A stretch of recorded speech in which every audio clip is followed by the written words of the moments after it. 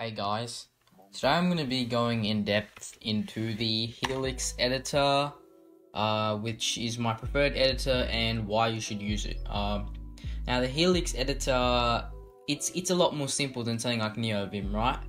There, it's not as customizable, but I reckon for something simple, it gets the job done and it does it well, especially for someone who needs to edit code. Now, I use Helix on a daily basis just for practicing my Rust. Uh, I do have NeoVim installed, but I've kind of forgotten all the binds. So yeah, I have a pretty, pretty interesting, pretty interesting NeoVim setup, right? If I go into a demo here, and I go into, uh, let's see, let's see what I have. Uh,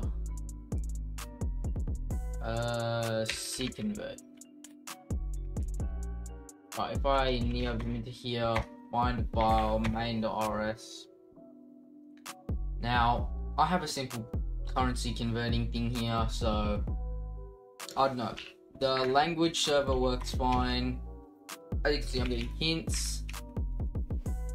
I don't know, I'm just not a fan of NeoVim. I don't know the binds that well. I don't know, I've kind of forgotten it, but I don't know. Helix, in my opinion, looks nicer, it's more clean it's less less cluttered. Like there's things you can't get confused about. You won't find yourself bumping random keybinds if you're new to things.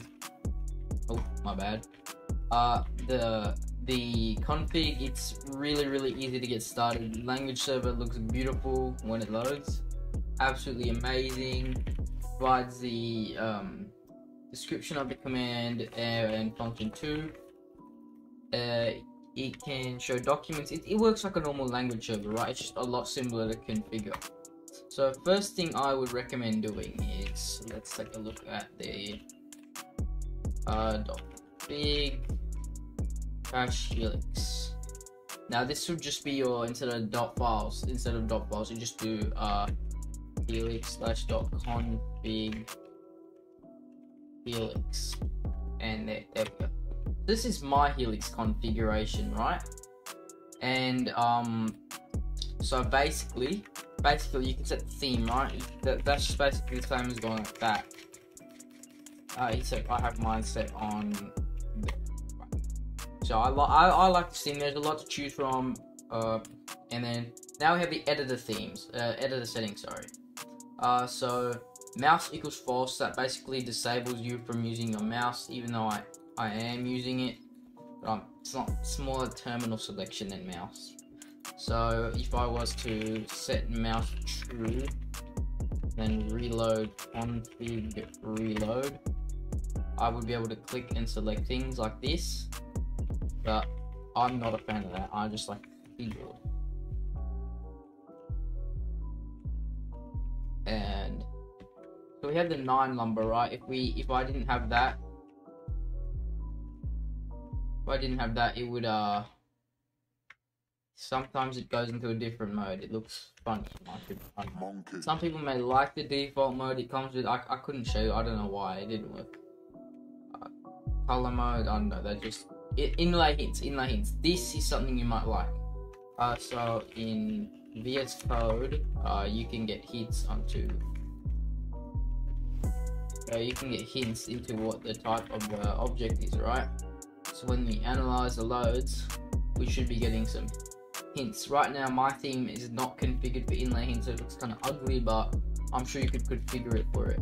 So as we can see, the our type output is uh, uh, float 64 f64. The type underscore c convert is a string, and the type arguments is of the struct args. Um, yeah, simple as it gets. Uh, me personally, I don't like it on. Second thing important is the editor cursor shape. Now, I like it like this because it looks like a nice like clean look. When it's not when it's not configured, it's like a a bar, this like ugly block all the time. Looks foul. Edit a file picker. Uh, I actually can't remember what this does. Edit a status line. Um, this just shows what we have here at the bottom here. I don't know, it's not that important. Uh, uh, here we go. We have some bindings, but the real the real thing lies at the at the uh, languages.toml. So it, it will automatically it will automatically detect the language server and set it up. I mean, you can do some configurations if you want, and that is usually helpful. You can set up a lot of language servers with this. So I have Rust automatically set up. I only had that just for some messing around. Language HTML, that one was needed to set up to change from another language server to M uh, language server. I have the CSS language server, I have the Go language server, and I have the Astro language server set up. So yeah, one thing I do recommend is that Helix does not have its own its own uh, terminal. So I it, I use it Zellij, the Liege.